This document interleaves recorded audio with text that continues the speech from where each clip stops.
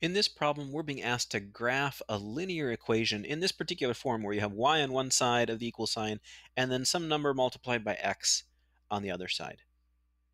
Whenever you're trying to graph uh, something, it's good to make a chart, especially if it's easy to calculate, where you put the x on the left, the y on the right, and you just pick some numbers and put them in.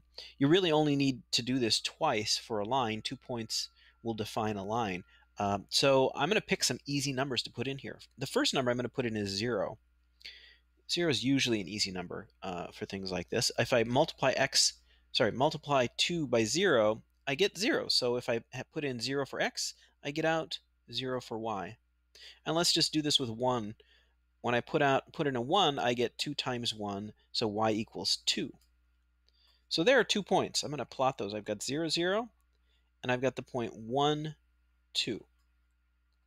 And then I could sketch in my line here. Uh, I'm going to do this sloppily because I'm drawing freehand on the computer.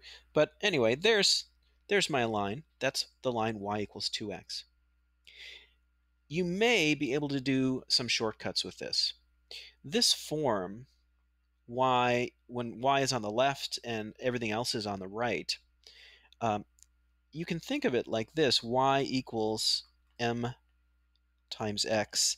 And then in this case, there's no b, but that's the rest of this slope-intercept form, y equals mx plus b. So really, this is y equals 2x plus 0. This b part is your y-intercept.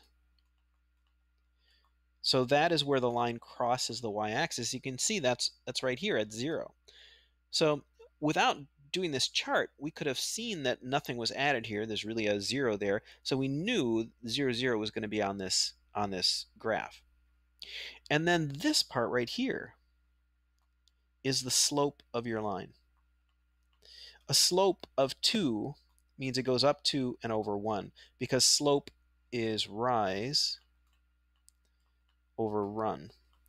So if you have a slope of positive 2, you can think of that as 2 over 1. So you're going to go up 2 over 1. And that's just what we do here.